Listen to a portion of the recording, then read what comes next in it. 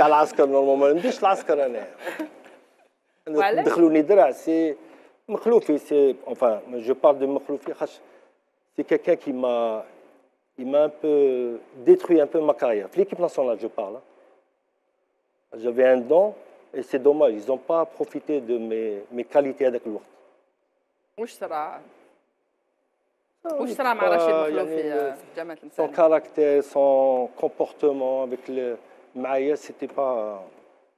Yani, C'est lui qui m'a un peu détruit ma carrière. L'équipe nationale, je parle. وعلاش واش دار لك مثلا Par exemple, Kima Al-Askar, أنا, je ne dois pas faire le- le- l'armée. يعني عندي la carte, عندي le- j'étais dispensé, soutien de famille, la carte ما يمدرها ما ولا.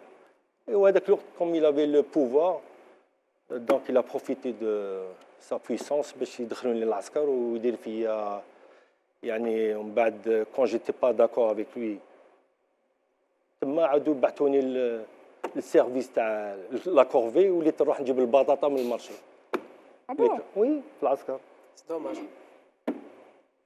Bon, en 82, c'était à cause de lui. Normalement, on peut, on peut être à 3-10.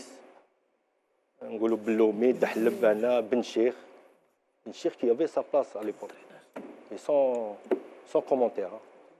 عند مصطفى كويسي اغوش لو ماتش تاع لوتريش يدوفي شونجي ليكيب نعم هل بتقول باللي كانوا